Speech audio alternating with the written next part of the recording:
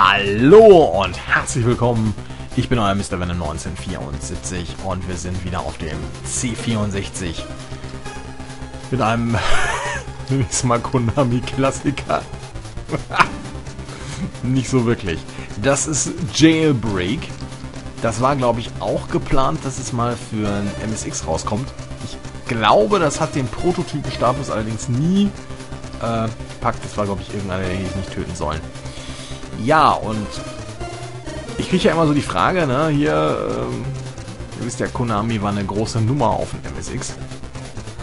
Ob denn auch äh, wirklich alles war? Nein, es gab auf dem MSX kein Mickey, kein Iron Horse, kein Jackal und eine Menge Sachen, die auch wirklich nicht mal einen Prototypen-Status haben. Ich glaube, Breakshot war so zum Beispiel so eine Geschichte.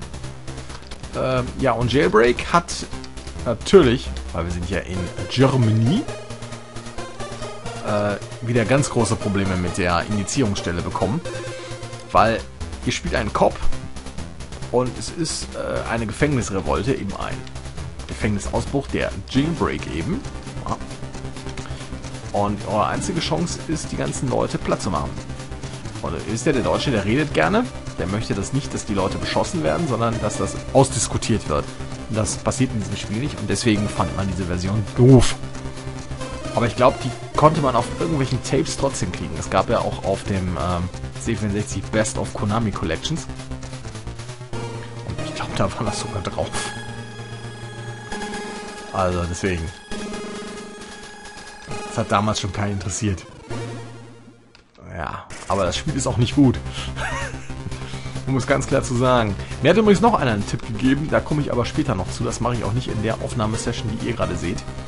Ähm, das ist auch ein Konami-Ding auf dem C64. Da gibt es irgendwie eine Insider-Info.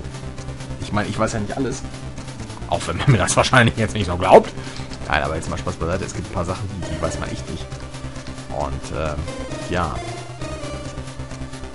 Also so richtig geil finde ich dieses Spiel übrigens nicht.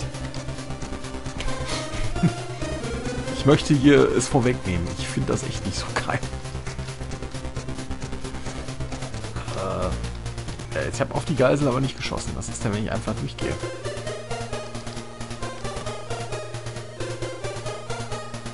Mal gucken. Muss er einfach an? Ne, bin ich trotzdem tot. Das ist toll, ne? Ich glaube, ich werde euch auch nicht viele Minuten von diesem Meisterwerk kredenzen, weil ich es auch selber ganz großartig finde. Also, ich muss schon sagen, also, äh, hier hat man aber echt wieder alles rausgeholt. Ähm, die Musik ist ganz witzig. Aber sonst ist das echt Schrott.